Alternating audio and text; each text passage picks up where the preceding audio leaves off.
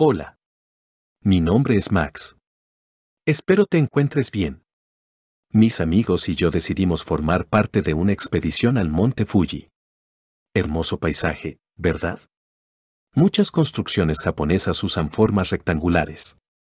Entonces, ¿podemos calcular el área o el volumen de estas formas? Sí podemos. Solo recuerda, el área es la cantidad de espacio que ocupa una forma y se mide en unidades cuadradas. Como pies cuadrados. Esta es una forma compuesta.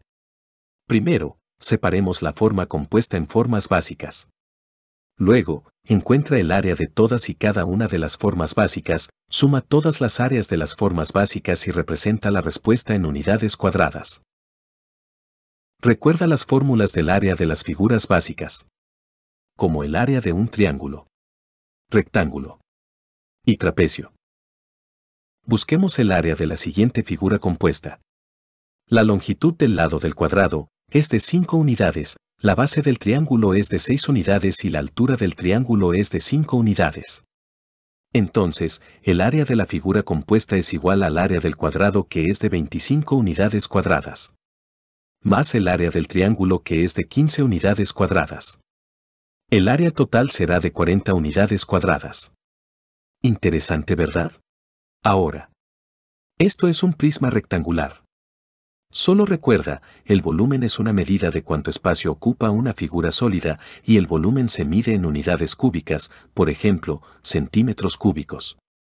De hecho, podemos calcular el volumen de prismas rectangulares rectos con dimensiones fraccionarias multiplicando las tres dimensiones, longitud, espesor y altura.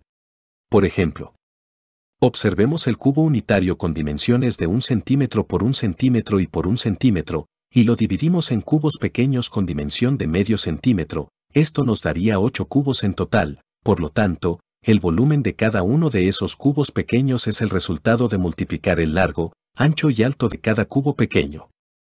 Entonces, el resultado es 1 octavo centímetros cúbicos. Fácil, ¿verdad? Oh. ¿Sabías que el monte Fuji es la montaña más alta de Japón? Tiene 3.776.24 metros de altura. Bueno, ahora que estamos hablando de medidas de longitud. ¿Puedes encontrar las longitudes de los lados horizontales y verticales de este triángulo rectángulo? El punto 1 está ubicado en negativo 2,1, el punto 2 está ubicado en 1,1 y el punto 3 está ubicado en 1,5. Bueno, es fácil encontrar las longitudes de los lados horizontales y verticales del triángulo rectángulo, solo resta los valores en x y los valores en y. Decimos, negativo 2 menos 1, es igual a menos 3. Entonces, la longitud de la base es 3, ya que la distancia entre dos puntos es siempre positiva. Hacemos el mismo proceso para encontrar la longitud de la altura, que es 4. Luego usa el teorema de Pitágoras para encontrar la longitud del tercer lado, que es la hipotenusa del triángulo rectángulo. La respuesta al usar esta fórmula sería 5. Una última pregunta. ¿Puedes encontrar la superficie de este prisma triangular? Bien.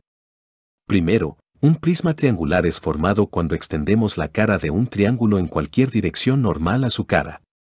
La fórmula para encontrar la superficie de un prisma triangular es la siguiente. Donde A es el área de la superficie, B es el borde inferior del triángulo base, H es la altura del triángulo base, L es la longitud del prisma y S1, S2 y S3 son los tres bordes del triángulo base.